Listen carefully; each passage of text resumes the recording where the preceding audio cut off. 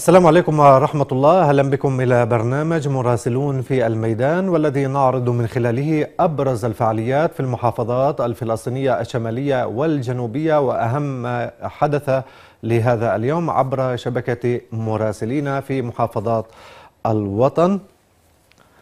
ونتحول لمراسلينا ونرحب من رام الله معنا ميساء الأحمد ومن العاصمة القدس المحتلة دانا أبو شمسية ومن غزة سالي السكني وهاني فنون من بيت اللحم. أهلا بكم جميعا.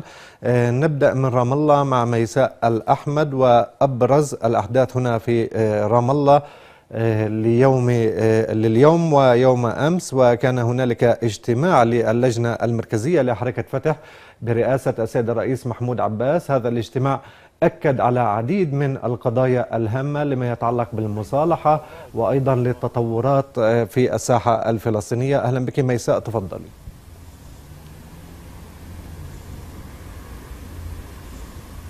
أهلا بك وديع وبكافة المشاهدين. يعني اليوم نتحدث عن اجتماع اللجنة المركزية لحركة فتح الذي تم في مساء أمس في مقر المقاطعة برام الله برئاسة السيد الرئيس محمود عباس. يعني اجتماع اللجنة المركزية خرج بمجموعة قرارات وتطرق لمجموعة أمور ميدانية ودولية. يعني في بداية وفي مستهل اجتماع اللجنة المركزية لحركة فتح أدانت اللجنة العمل الإرهابي الذي أدى إلى وقوع أكثر من 300 قتيل تسجيل آه، مصري في مسجد في شمال سيناء وأكدت آه، أكدت اللجنة المركزية أنها تقف مع المصريين قيادة وشعبا في جهودهم لمحاربة ومكافحة الإرهاب وكل من يحاول أن يمس بالأمن القومي المصري أدانت هذا العمل الارهابي وترحمت على أرواح القتلى المصريين. يعني السيد الرئيس محمود عباس أطلع اللجنة المركزية في هذا الاجتماع على مجمل زياراته في الفترة الأخيرة وكان منها زيارة زيارته لمصر وحضور منتدى الشباب العالمي لشرم الشيخ واللقاء المهم الذي جمعه مع نظيره المصري عبد الفتاح السيسي. وكذلك تحدث السيد الرئيس عن زيارته للمملكة العربية السعودية ولقائه بالملك سلمان بن عبد العزيز وولي العهد محمد بن سلمان. وأكدت المركزية على وقدرت يعني جهود المملكة العربية السعودية التي تدعم الشعب الفلسطيني والقضية الفلسطينية بشكل دائم. والدعم المادي الذي تقدمه المملكة العربية السعودية دائما لشعبنا الفلسطيني والذي شهد زيادة في الفترة الأخيرة. كذلك تطرق السيد الرئيس في لقائه مع اللجنة المركزية إلى زيارته إلى الكويت وحضوره. نعم ودي يعني سنتحدث عن هذا الموضوع. يعني فقط أكمل فيما يتعلق في الزيارات. زيارته للكويت ولقائه بالأمير أمير الكويت صباح بن أحمد الصباح. وكذلك زيارته إلى إسبانيا ولقائه بالملك فيليب السادس. يعني فيما يتعلق في قضية المصالحة اطلعت اللجنة المركزية من الوفد الذي ذهب لاجتماع الفصائل الأخير في القاهرة في 21 و 22 من الشهر الجاري لمجريات هذا الاجتماع والنتائج الذي خرج بها. أكدت اللجنة المركزية أنها دائما تثمن جهود جمهورية مصر العربية الداعمة للمصالحة والتي تسعى دائما إلى استعادة الوحدة الوطنية. وأكدت اللجنة المركزية أنها ملتزمة بكافة القرارات التي كانت قد صدرت عن الاجتماعات السابقة والتي ستصدر في الاجتماعات القادمة المتعلقة في هذا الملف. وأكدت اللجنة المركزية أن قضية تمكين الحكومة في قطاع غزة هو أمر مهم جدا وأن تمكين الحكومة يترتب عليه كذلك استكمال استكمال آه، الإجراءات والملفات المتعلقة في قضية المصالحة. كذلك يعني تطرقت آه، اللجنة المركزية إلى موضوع أو الحديث عن إغلاق مكتب ممثلية منظمة التحرير في واشنطن ومحاولات البعض إغلاق هذا المكتب. وكذلك تطرقت إلى مجموعة القوانين التي يعني أقرها الكونغرس في السنوات الأخيرة ضد الشعب الفلسطيني. وأكدت أن بقاء مكتب ممثلية منظمة التحرير مفتوحا في واشنطن هو ضمان لاستمرار العلاقات الثنائية بين الشعبين الفلسطيني والأمريكي. وفي ختام اجتماع اللجنة المركزية لحركة فتح هنأت فريق كرة القدم الفلسطيني على حصوله على مرتبة في الترتيب الدولي وأكدت أن دعمها لفريق كرة القدم ويعني تمنت له المزيد من النجاحات وحظ مزيد من التقدم على المستوى الدولي. نعم ميساء الأحمد شكرا لك على كل هذه التفاصيل. نتحول الآن إلى العاصمة المحتلة معنا دانا أبو شمسية. أهلا بك معنا دانا. يعني اليوم آه، التقرير الذي صدر حول الأضرار التي لحقت بالمسجد الأقصى جراء إغلاقه في هبة القدس خلال الفترة الماضية. يعني هنالك تقرير من لجنة أوقاف المدينة تقول بأن هنالك عبث بمحتويات المسجد محاولة لتركيب أو تركيب يعني أجهزة جديدة لم تكن موجودة سابقا لترصد المواطنين والتصوير. هذه التفاصيل لديك دانا. صحيح وأنا في إعداد وفي صدد إعداد تقرير حول هذا الموضوع وحول بيان إدارة الأوقاف الإسلامية في مدينة القدس الذي تحدثت فيها عن الأضرار والانتهاكات الإسرائيلية المشنة بحق المسجد الأقصى المبارك في تموز الماضي. ونتحدث عن فترة الإغلاق التي دامت واستمرت حتى 14 يوما في محاولة من قوات الاحتلال وحكومة الاحتلال إلى فرض واقع جديد وتغيير الواقع التاريخي للمسجد الأقصى. باعتباره حق خاص وخالص للمسلمين. كان هنالك بيان صادر من اللجنة الفنية التابعة لدائرة الأوقاف في آب الماضي الذي وضح بعض هذه الانتهاكات والتي تحدثت في المجمل العام عن تكسير وتدمير كافة الأقفال لأبواب المسجد الأقصى ومحاولة العبث في حواسيب دائرة الأوقاف والمسجد الأقصى في محاولة من سلطات الاحتلال إلى اختراق النظام هناك ومحاولة سرقة بعض المستندات. المستندات إلا أنهم لم يتمكنوا من هناك وأكدت دائرة الأوقاف من خلال لجنتها الفنية إن إلا أنه لم يتم هنالك سرقة أي مستندات أو أي مخططات من داخل المسجد الأقصى المبارك. يأتي هذا البيان صبيحة هذا اليوم ليوضح أكثر هذه الانتهاكات وفصلها. نتحدث عن مختلف معالم المسجد الأقصى بمساحته الكاملة والشاملة 144 دنم تحدث البيان عن الأضرار والانتهاكات التي حدثت في أجزائه وأهم هذه الانتهاكات برزت في مسجد قبة الصخرة وتحدث البيان عن زراعة براغي في جدران هذا المسجد. وتتوقع هذه اللجنة أن هذه البراغي هي عبارة عن أجهزة رصد وتنصت للمواطنين والمصلين داخل المسجد الأقصى المبارك. كما هنالك هذه البراغي تتواجد أيضا في المسجد القبلي. نتحدث أيضا عن المكتبات نتحدث أيضا عن المساجد وعن كافة المعالم الموجودة داخل المسجد الأقصى المبارك التي تم العبث فيها وفي محتوياتها وأهمها في النظام الكهرباء والمناهل والصرف الصحي الموجود داخل المسجد الأقصى. قاموا أيضا بالعبث بسجاد المسجد الأقصى المبارك وإلحاق أضرار مادية طالت الجدران وسقف وأرضية المسجد الأقصى المبارك. هذه التفاصيل سنوفيها أكثر ورد دائرة الأوقاف على مثل هذه الإجراءات والانتهاكات في تقريرنا الذي نعمل على إعداده للنشرات القادمة. إلا أن بيان دائرة الأوقاف أكد أن دائرة الأوقاف لن تكتفي بهذا البيان وأنها ستستمر بملاحقة هذه الانتهاكات والعبث وذلك لكبر مساحة المسجد الأقصى المبارك ولتوقع المزيد من الانتهاكات بحق المسجد الأقصى المبارك نعم يعني حتى يسمح لي أن أنوه هنا أن هذه ضمن سلسلة الإجراءات نعم. نعم يعني بالتأكيد نعم. بحسب أكثر من تقرير بأن قوات الاحتلال قامت بتصوير معظم المستندات الموجودة داخل مكتبات الأقصى وبالتالي أخذت نسخ عنها وهي تقوم بدراستها بهدف يعني تهويد واستمرار التهويد داخل الحرم القدسي أيضا نتحدث في القدس هنالك مواطن في أم طوبة في المدينة هدم منزله بيده ما الذي جرى؟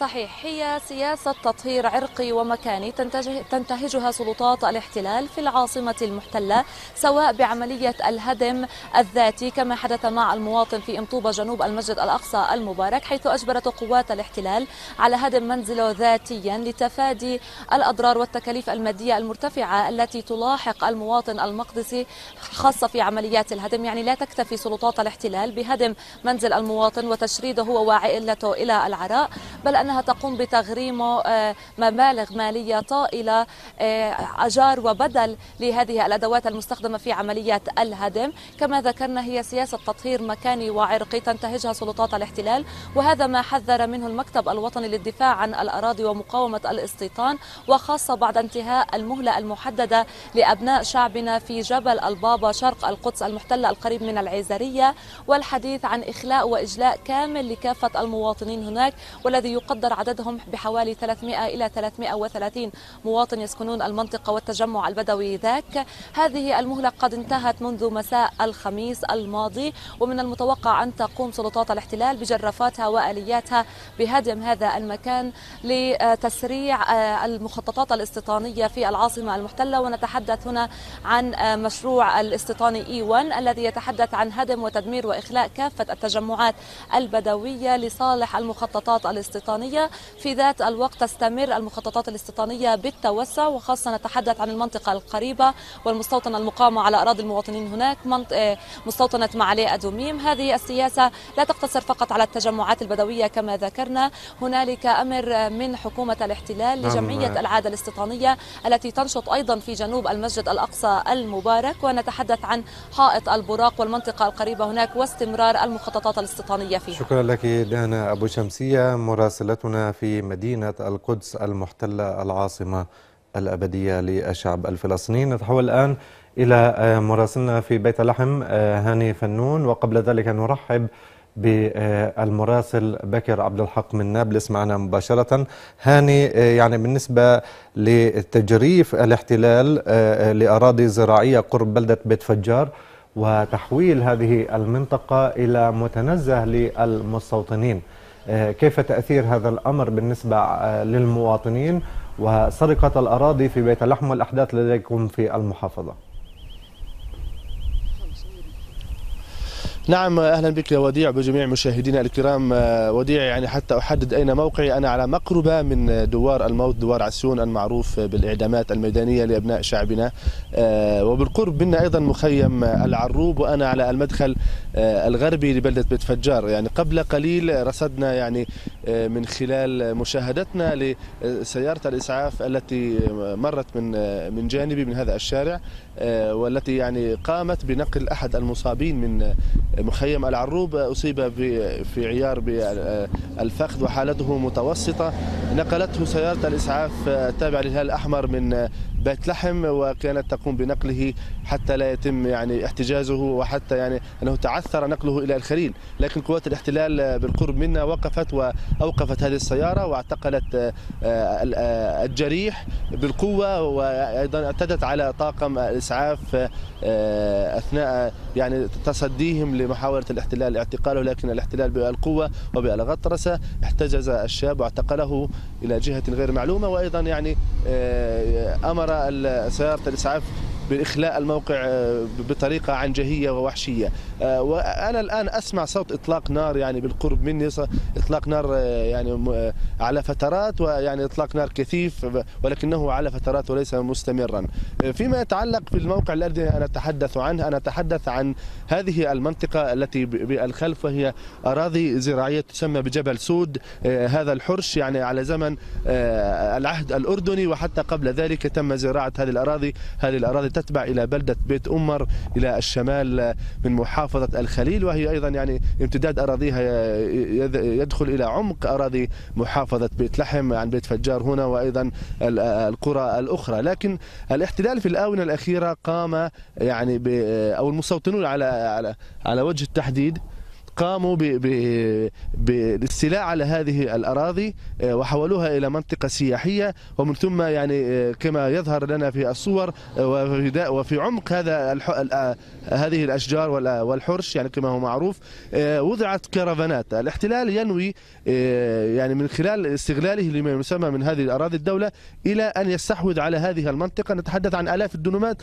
تمتد حتى يعني البناء العمراني لبلدة بيت أمر وأيضا لمخ مخيم العروبة هنا نتحدث عن آلاف الدنومات الزراعية التي ما تسمى بأراضي دولة. لكن للحديث أكثر حول هذا الموضوع آه، أتحول إلى حسن برجية ممثل هيئة مقاومة الجدار والاستيطان ليضعنا في صورة هذا الإجراء الاحتلالي. حسن أهلا بك عبر تلفزيون فلسطين وبرنامج مراسلون في الميدان. إذا ما تحدثنا عن مستقبل هذه المنطقة بعد أن قام الاحتلال يعني بتسريب هذه الأراضي للمستوطنين يعني إذا ما تم إذا ما صح التعبير ومن خلال هذه الإجراءات التي يقوم بها. ما مستقبل هذه المنطقة آه، بعد أن آه، يعني استحوذ عليها المستوطنون؟ آه، وفق القانون الدولي هذه أراضي آه، دولة أميرية يجب أن تبقى أراضي أميرية يجب أن تبقى أراضي دولة.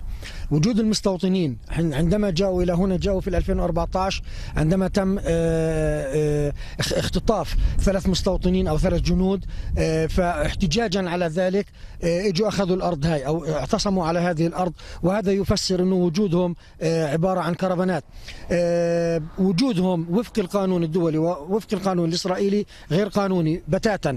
بالعكس حتى في آه، أمر إخلاء لإخراجهم من هنا ولكن لجأوا للمحكمة العليا وقدموا التماس تأجيل آه، إخلاءهم من هذه آه، المنطقة. حقيقة إسرائيل اعتدنا إحنا انه هذه الدولة دائما تصادر الأراضي أو تعلن أراضي دولة من أجل التسهيل. من أجل التسهيل آه، للمستوطنين لإقامة المستوطنات على هذه المناطق. إذا أفلحوا في آه، تشييد المستوطنة واللي آه، بيحكوا أنه اسمها مقدال قبعات عوز في هذه المنطقة من أجل انتقام الذين قتلوا الثلاثة الذين خطفوا وقتلوا هي وفق القانون الدولي وحتى الإسرائيلي أراضي غير أراضي غير مسموح لهم باستخدامها. ونحن سنعمل ونحن سنعمل لأنه مثل ما هي محرمة علينا يجب أن تحرم على الآخرين. ومن هنا القاعدة هنا القانونية والشاهد القانوني أنه يجب ألا يأتي أي دبلوماسي أي سفير لأي دولة إن كانت لتعزيز الاستيطان في هذه المنطقة. جميعنا بنعرف أنه شبيبة المستوطنين وزعوا دعوة لتأبين أحد القتلى في هذه من هذه المنطقة وهو يحمل الجنسية الأمريكية. فدعوا السفير الأمريكي للقدوم إلى هذه المنطقة. نحن نقول بأنه هذا حسب القانون الدولي وحسب الأعراف الدولية والدولية الدبلوماسية. الدولية هذا يعني تصرف غير قانوني وتصرف مستهجن من الشعب الفلسطيني ضد التصرفات الأمريكية تجاهنا. يعني امبارح أنت بتسكر مكتب ممثل منظمة التحرير عندك وهنا جاي بدك تعزز الاستيطان على هذه الأرض. نحن نلفظ ونرفض هذه التصرفات وبنتمنى على الشعب الأمريكي أنه يكون له موقف تجاه ما يجري على الأرض الفلسطينية آه، وما يجري من تعزيز الاستيطان على بلادنا.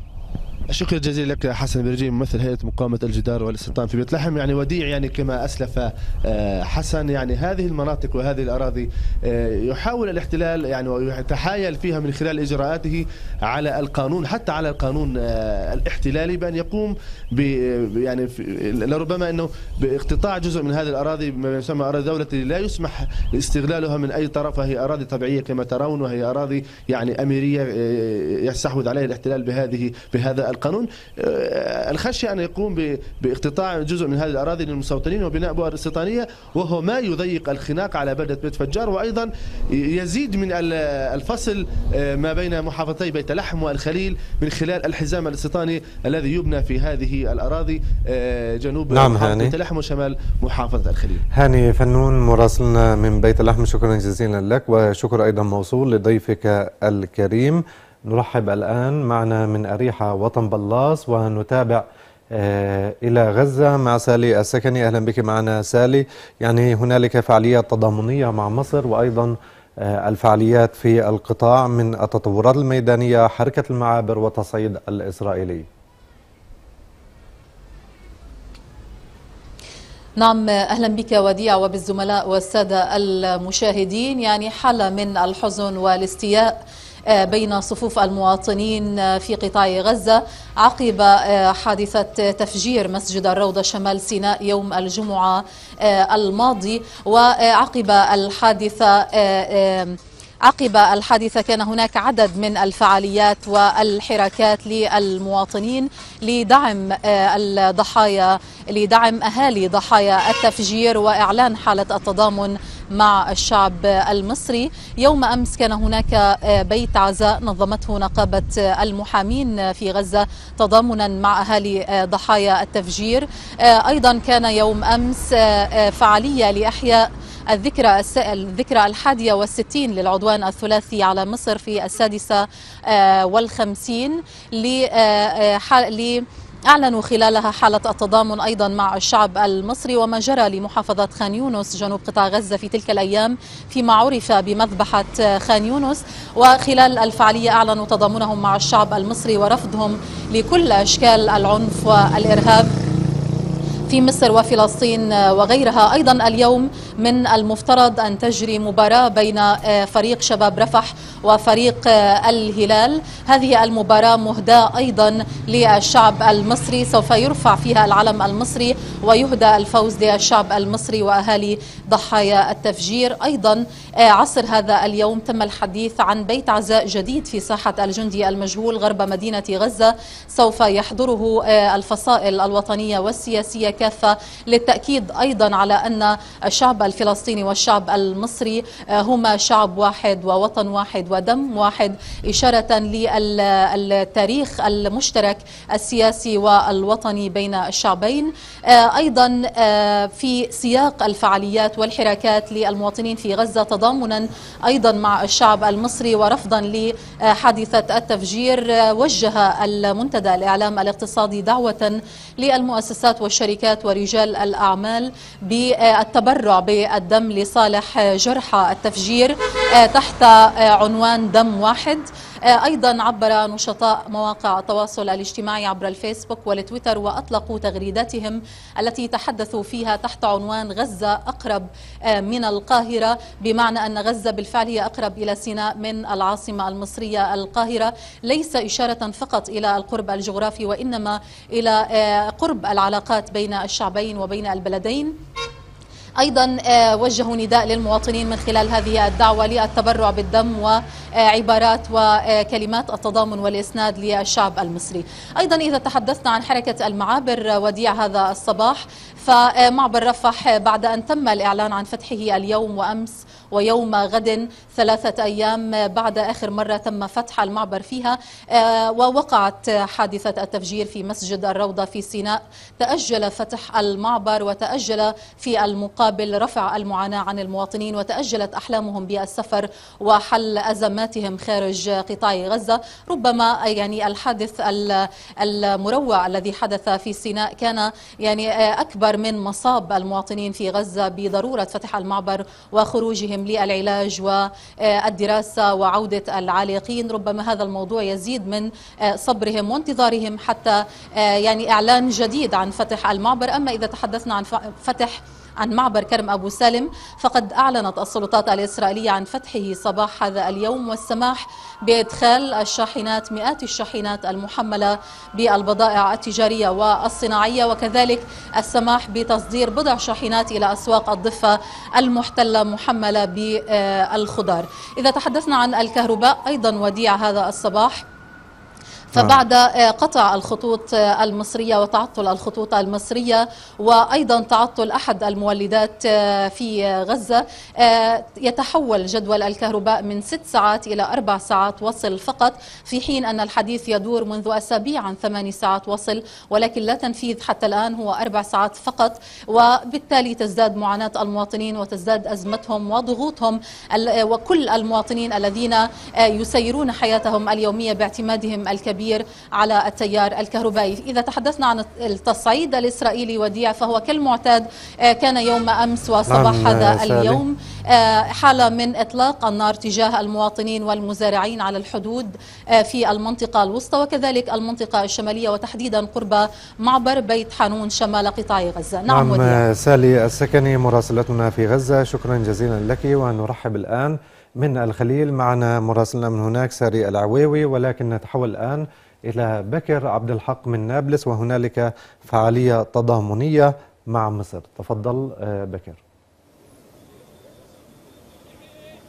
نعم وديع قبل قليل انتهت الوقفة التضامنية هنا التي أقيمت على ميدان الشهداء وسط نابلس تضامنا مع الشقيقة مصر شعبا وقيادة ضد الهجوم الإرهابي الذي تعرضت له وراح ضحيته نحو ثلاثة ثلاثة مئة شهيد من المصلين المسلمين الآمنين في مسجد الروضة بسيناء فصائل العمل الوطني هنا في محافظة نابلس وفعاليات المدينة ومؤسسات المدينة تداعت لتنظيم هذه الوقفة التضامنية للتأكيد على وقوف الشعب الفلسطيني جنبا إلى جنب مع الشعب. مع الشعب المصري في هذه المحنة وفي هذه الجريمة والتأكيد على انحيازها التام إلى جانب مصر في معركتها ضد الإرهاب للوقوف أكثر على هذه الوقفة التضامنية والرسائل التي رفعها وأرسلها المشاركون في هذه الوقفة. ينضم إلينا عضو المجلس الثوري لحركة فتح الأستاذ عبد الله الأتيرة أستاذ عبد الله شكرا لانضمامك. معنا بداية يعني ليست المرة الأولى التي تنظم وقفات تضامنية هنا في مدينة نابلس ومختلف محافظات الوطن للتضامن مع مصر. في كل اعتداء يعني يكون هناك تنظيم لهذه الوقفات. ما هي الرسالة التي أردتم اليوم إرسالها للشعب المصري ضد هذه الجريمة. لا الحقيقة اليوم مختلف تماما.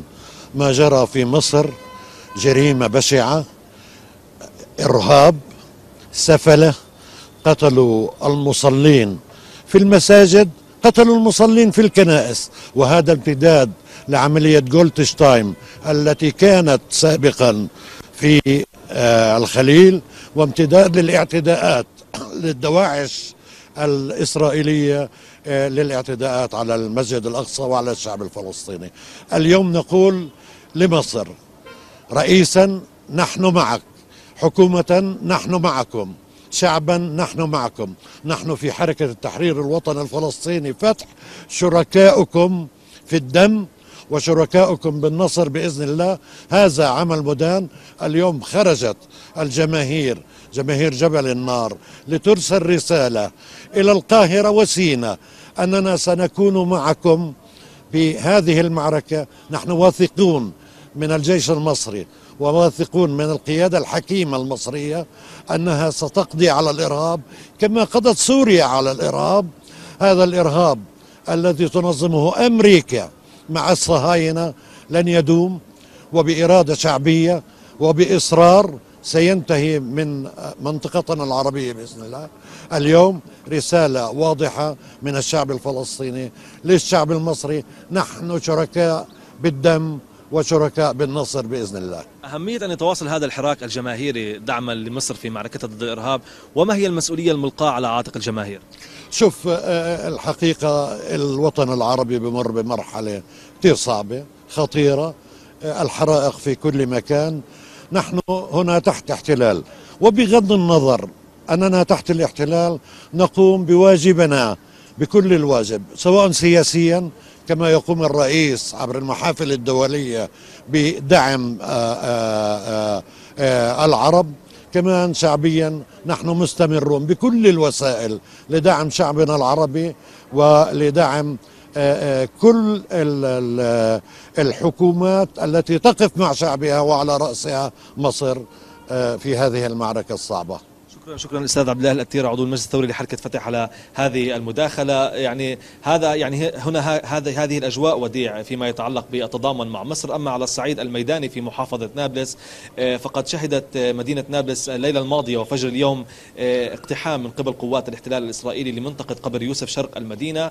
الاحتلال اقتحم هذه المنطقة بعشرة آليات عسكرية وبحسب سكان المنطقة الاحتلال قام بإنزال بعض المعدات والمواد في في منطقة القبر وقام بإجراء أعمال الصيانة لما يقارب الساعة ونصف الساعة قبل أن يعاود الانسحاب. يعني يبدو أن الاحتلال يعني يهيئ المنطقة بشكل دائم لتستقبل مزيد وأعداد أكبر من المستوطنين والذي يعني طالما يوفر لهم الحماية والأمن أثناء اقتحامهم للمدينة. أما في قرية تل غرب نابلس فقد اقتحمت قوات الاحتلال هي الأخرى فجر اليوم منازل المواطنين في في القرية وداهمت عدد من هذه المنازل ولكن لم تسجل أي اعتقالات. هذا في الشأن الميداني. أخيرا نعم في على صعيد الفعاليات افتتحت بلدية نابلس صباح اليوم معرض حارة العين وهو يعني في منطقة عسكر البلد وهو يعني معرض احتوى على عدد من المشاريع لطلبة هندسة العمارة ومقترحات لترميم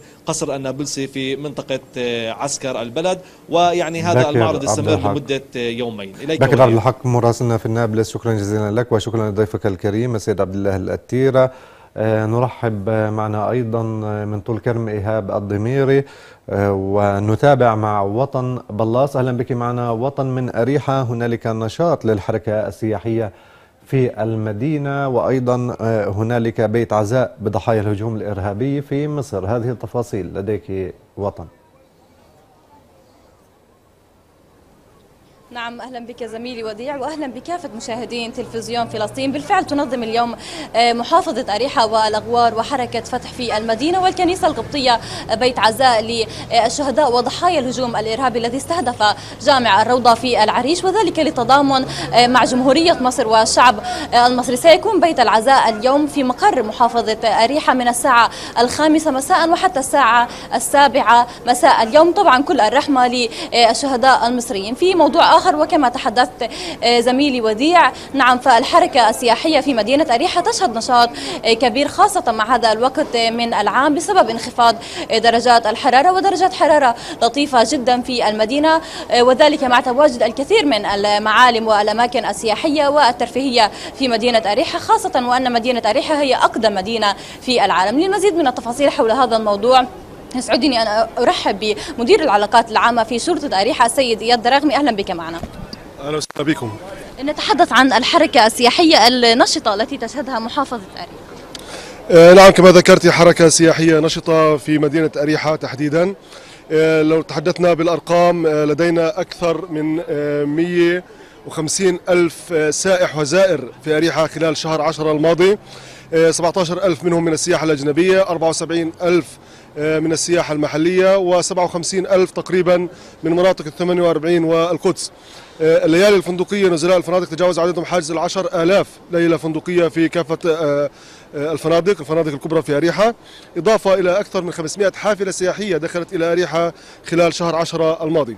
لو تحدثنا عن شهر 11 نحن موجودين فيه الآن حتى الأيام هذه آه، قبل نهاية الشهر يعني سنصل إلى حاجز ال 200 ألف سائح وزائر آه، في مدينة أريحة. نتحدث عن حركة سياحية نشطة سواء كانت سياحة أجنبية أو حتى سياحة محلية ومن مناطق 48 وأيضا القدس. نعم بشكل سريع للراغبين بزيارة مدينة أريحة أبرز الأماكن التي بإمكانهم التوجه إليها. أريحة تزخر بالمواقع الأثرية والسياحية. آه، فيها الكثير من المواقع الأثرية وهي معروفة والكثير من المواقع السياحية الكبرى. آه، التي يرتادها السياحة الأجنبية وأيضا السياحة المحلية. هناك المدن المائية هناك المتنزهات آه، المقاهي وكثير كثير من المتنزهات لا مجال لذكرها ولكنها كثيرة وهناك أيضا بإمكانهم آه، زيارة وسط مدينة أريحة. هناك موقع للدليل السياحي حتى أنه يعرف الزوار بالمواقع السياحية والأثرية الموجودة والتي يمكن زيارتها يوميا في أريحة. نعم سيد إياد رغم مدير العلاقات العامة في شرطة أريحة شكرا لك. أهلا وسهلا بكم. إذا مشاهدينا حركة سياحية نشيطة تشهدها مدينة أريحة. بشكل يومي هناك آلاف السياح الذين يتوجهون إلى زيارة مدينة أريحة بسبب أنها تحتوي الكثير من الآثار والمعالم السياحية. في موضوع آخر وللراغبين بالسفر عبر معبر الكرامة فمعبر الكرامة يعمل اليوم بشكل معتاد من الساعة السابعة ونصف صباحا وحتى الساعة التاسعة والنصف. مساء. إيه، أما عن درجات الحرارة وأخيرا درجات حرارة جميلة تشهدها إيه، المحافظة. نتمنى للمواطنين في سواء في محافظة أريحة أو باقي محافظات الوطن يوم جميل. هذا كل ما لدي وديع وعودة لك. شكرا لك وطن بلاص وشكر أيضا موصول للسيد إياد دراغمي من الشرطة الفلسطينية في أريحة. نرحب معنا من جنين أحمد نزال مراسلنا هناك ونتابع الآن مع ساري العويوي في الخليل وأبرز الفعاليات لديك ساري. أهلا بك زميلي. بداية وأهلا بالسادة المشاهدين. نبدأ من اعتداءات جيش الاحتلال ومستوطنيه في هذه اللحظات.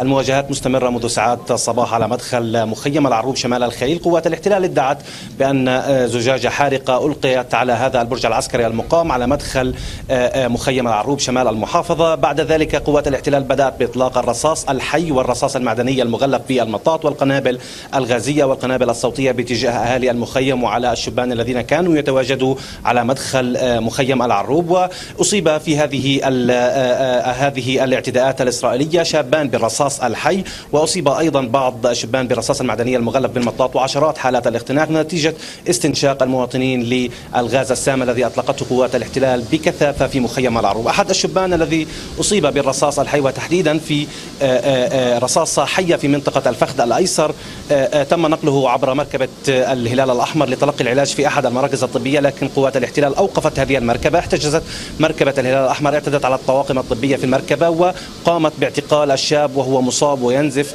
نتيجة تلقيه رصاصة حية من آه، جنود الاحتلال المتمركزين على مدخل مخيم العروب وتحديدا على البرج العسكري. هذه صورة الأوضاع في مخيم العروب على صعيد أيضا اعتداءات جيش الاحتلال. قوات الاحتلال داهمت عدة أحياء في مدينة الخليل, الخليل. عرف منها واد أبو كتيلة واد الكرم وتم آه، آه، استلام أو تسليم أربعة مواطنين بلاغات لمراجعة المخابرات الإسرائيلية ومراجعة المخابرات في مركز تحقيق عصيون. أيضا مجموعة من المستوطنين وقطعان المستوطنين المدججين بالسلاح في منطقة السهلة القريبة أو المحاذية للحرم الإبراهيمي الشريف بالبلدة القديمة. اعتدوا على مجموعة من المواطنين ومجموعة من الأطفال في تلك المنطقة ما أدى إلى إصابة بعض المواطنين بردود وكدمات. منهم المواطن إسلام الفخوري 27 عاما الذي أصيب بكدمات وجروح في منطقة الرأس الذي أيضا اقتادته قوات الاحتلال إلى مركز تحقيق جعبرة القريب من مستوطنة كريات أربع المقامة على أراضي المواطنين في مدينة الخليل. هذا على صعيد الاعتداءات والانتهاكات الإسرائيلية. زميلي في محافظة الخليل على صعيد الفعاليات التي تشهدها محافظة الخليل لهذا اليوم في جامعة البوليتكنيك. تحديدا نحن حيث نتواجد الآن ونحن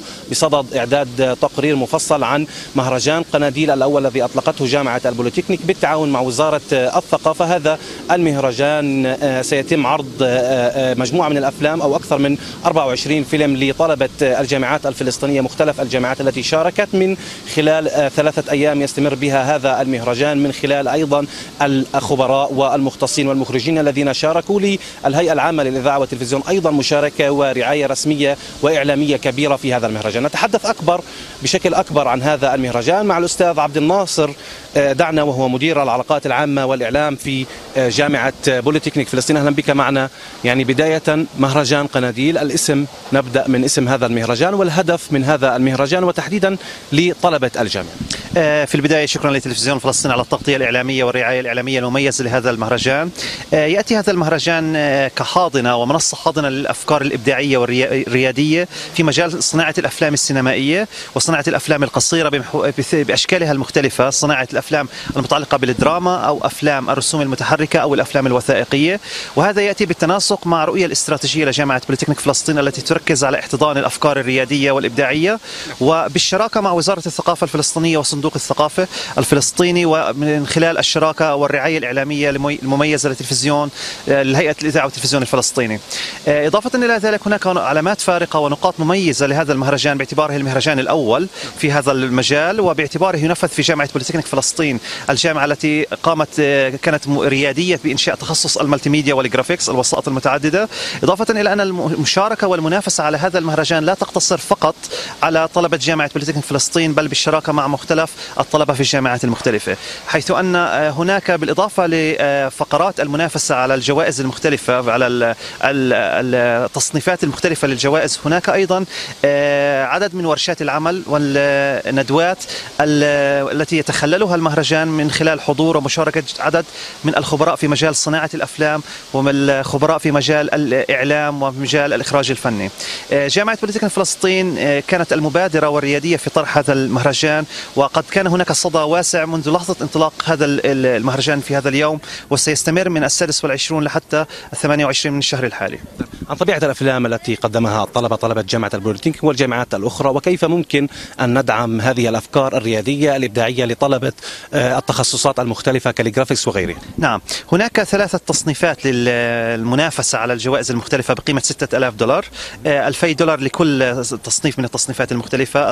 القسم الأول أو التصنيف الأول المرتبط بالأفلام الدراما التصنيف الثاني مرتبط بأفلام الوثائقية والثالث بالرسوم المتحركة. سيتم المنافسة من خلال المتقدمين أو الأفلام الكثيرة التي آه، أو المترشحون الكثيرون الذين قاموا بالتقدم بالأفلام إلى جامعة بوليتكنيك فلسطين. وقد كان هناك لجنة مختصة من خبراء من جوانب مختلفة قاموا بمعاينة وتحليل الفيديوهات أو الأفلام التي تم التي تم تقديمها. وسيتم الإعلان مؤخرا آه، لاحقا في نهاية البرنامج في نهاية المهرجان عن الجوائز المختلفة وسيتم عرض هذه الأفلام لفترات متتالية في مناطق مختلفة. شكرا أستاذ عبد الناصر. دعنا مدير العلاقات العامة والإعلام في جامعة بوليتكنيك فلسطين. أيضا مشاهدينا الكرام في الأحداث التي شهدتها الخليل الشرطة الخليل في صباح هذا اليوم ألقت القبض على سائق مركبة بحمولة زائدة لطلبة مدرسة بلغت 25 نعم، راكب أو طالب وطالبة شرطة الخليل أمنت وصول الطلاب إلى مدارسهم وألقت القبض على سائق هذه المركبة المخالفة واحتجزت هذه نعم. المركبة. هذه صورة الأوضاع لدينا زميلي في محافظة الخليل. شكرا جزيلا لك ساري العواوي مراسلنا من الخليل وشكرا أيضا موصول لضيفك الكريم. نرحب أيضا معنا في هذه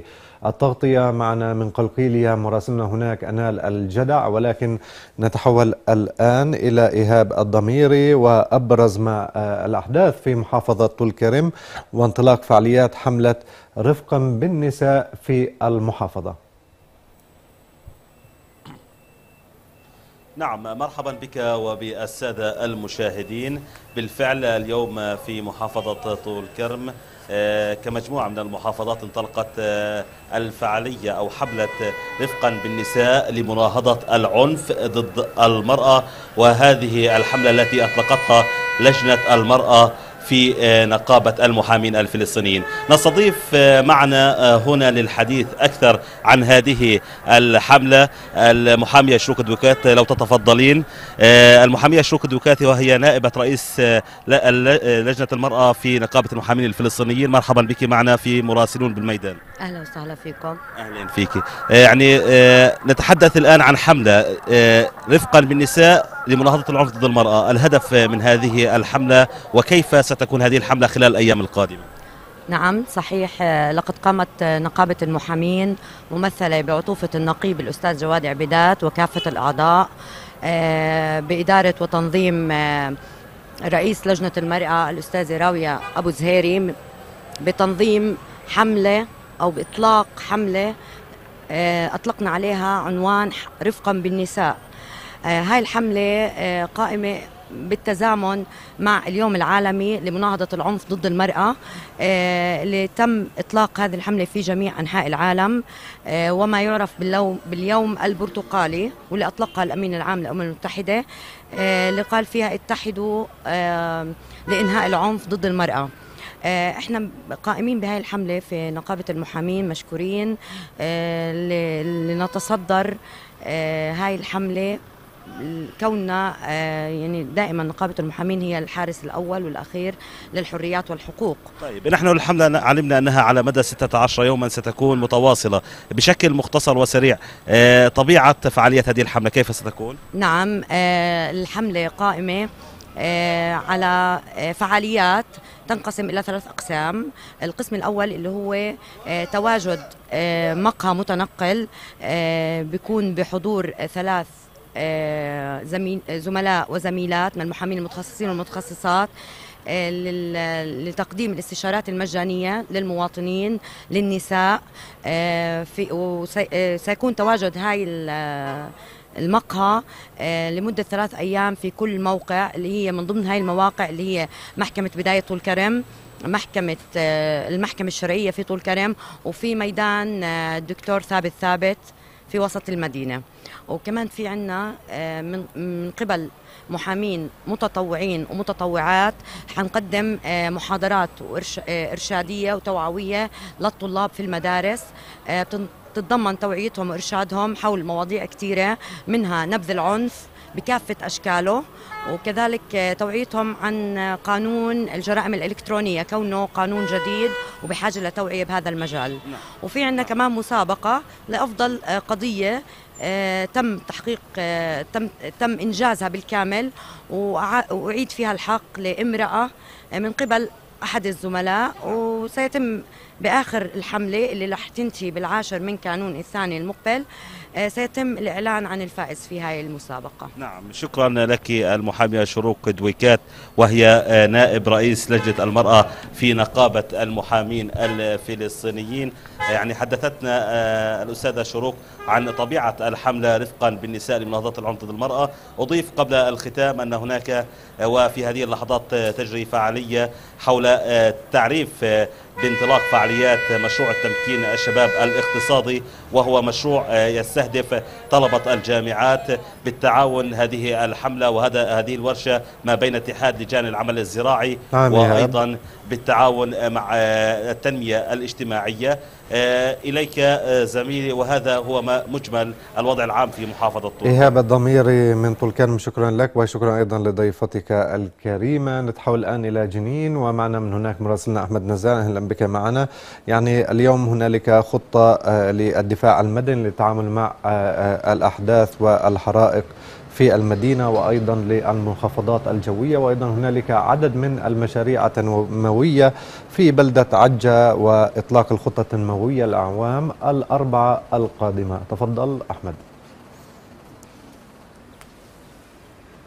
نعم مساء الخير لك زميلنا مساء الخير للسادة المشاهدين أينما وجدوا يعني في بلدة عجة جنوب غرب جنين كما تفضلتم جرى الإعلان عن إطلاق ثلاثة مشاريع تنموية اقتصادية حيوية في البلدة وذلك بحضور رسمي جرى التوقيع عليها وإطلاقها بحضور وزير الحكم المحلي الدكتور حسين الأعرج. هذه المشاريع تمثلت بوضع حجر الأساس لمحطة الطاقة الشمسية. هذه المحطة التي ستعمل على توفير 20% من حاجة البلدة من طاقة الكهرباء إضافة إلى وضع حجر الأساس لمشروع حديقة عامة سيتم زراعة حوالي 120 دلما بالأشجار الحرجية في البلدة. أيضا هنالك مشروع هو تركيب عدادات مسبقة الدفع للمياه. هذه المشاريع التي أكد الدكتور حسين العرج أنها تأتي في إطار التنمية الاقتصادية التي تقودها الوزارة في الهيئات المحلية.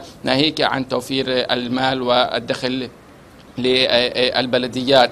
هنالك أيضا في بلدية قباطية جرى أمس الإعلان عن إطلاق خطة التنمية خلال الأربع سنوات القادمة. هذا الإعلان جرى بحضور عدد من أعضاء المجلس البلدي المحلي الحاليين والسابقين إضافة إلى لجنة إلى لجنة التنمية ولجنة البلدية ولجنة الخطة التنموية الحالية. ناهيك عن حضور عدد من الخبراء التنمويين أعلنوا عن انطلاق الخطة التنموية في البلدة خلال الأربع سنوات القادمة والتي ركزت على إنشاء العديد من المشاريع الحيوية التنموية في البلدة والتي من شأنها الارتقاء في البلدة وتقديم الخدمات الأساسية للمواطنين. ناهيك عن عرض للخطة التنموية السابقة حيث جرى عرض العديد من المشاريع التي تم تنفيذها. كذلك يعني اطلاع المواطنين والحضور على عدد من المشاريع التي لم يتم تنفيذها. وذكر والوقوف على اسباب التي حالت دون تنفيذها. أيضا هنالك يعني خطة الدفاع المدني هنا في مدينة جنين للتعامل مع الحوادث والتي أكدت ناشدت المواطنين بتوخي الحيطة والحذر وطالبتهم ب يعني اتباع القوانين واتباع شروط السلامة العامة هنا في مدينة جنين. لا سيما مع تكرار حوادث التي حصلت خلال الأيام الماضية مع بداية مع سقوط الأمطار ويعني دخول فصل الشتاء. كان آخر هذه الحوادث أمس حيث أصيب عشرة مواطنين في حادثي سير منفصلين هنا في مدينة جنين. جرى نقلهما إلى مشافي المحافظة وسوف نعم إصاباتهم بين خطيرة متوسطة نعم. ناهيك عن اشتعال نعم ناهيك عن اشتعال النيران في أحد مركبات المواطنين هنا في المدينة حيث جرى التعامل معها وإخماد النيران قبل أن تنتشر إلى المركبات المحيطة، هذا أبرز ما شهدته المحافظة خلال ال 24 ساعة الماضية وخلال هذا اليوم. أحمد نعم نزال مراسلنا من جنين. شكرا جزيلا لك. ونتحول الآن إلى أنال الجدع في قلقيلية وأهم الأحداث لديكم باختصار لو سمحت. نعم تحياتي لك وديع واهلا بكافة المشاهدين. يعني في الحقيقة يعني قبل دقائق انتهت الوقفة التضامنية التي نظمتها لجنة المرأة في نقابة المحاميين. من هنا حيث أقف الآن من أمام المحكمة الشرعية. وذلك لإطلاق حملة رفقا بالنساء. هذه الحملة التي تأتي تزامنا مع اليوم العالمي لمناهضة العنف ضد المرأة. هذا اليوم الذي يصادف في الخامس والعشرين من شهر نوفمبر من كل عام والذي كانت قد اعتمدته الجمعية الجمعية العامة للأمم المتحدة. أما فيما يتعلق بالأحداث الميدانية يعني ليلة أمس قوات الاحتلال كانت قد داهمت بلدة عزون شرق قلقيلية واقتحمتها وكذلك قامت باقتحام عدد من البيوت وتخريبها. كما الاحتلال قام بإزعاج المواطنين من خلال إلقاء القنابل الغازية والصوتية بين منازل المواطنين. أيضا فيما يتعلق بالحواجز الاحتلالية يعني قوات الاحتلال بالأمس وخلال ساعات المساء أقامت حاجز بين بلدة حبلة ومدينة قلقيلية. وخلال هذا الحاجز تم احتجاز عشرات المركبات وإعاقة حركة المواطنين والتسبب بأزمة مرورية استمرت لعدة ساعات. أما فيما يتعلق بالأسرى يعني اليوم من المتوقع أن تفرج قوات الاحتلال عن الأسير مراد عدوان من بلدة عزون. هذا الأسير كان قد أمضى خلف قضبان الاحتلال عشرة أعوام. يعني هذا كل ما لدينا وديع لهذا اليوم. شكرا لك مراسلنا من قلقيلية أنال الجدع على كل هذه التفاصيل. والشكر أيضا موصول لكم مشاهدينا على حسن المتابعة. دائما وأبدا نتمنى لكم يوما هانئا وبأمان الله ورعايته دائما.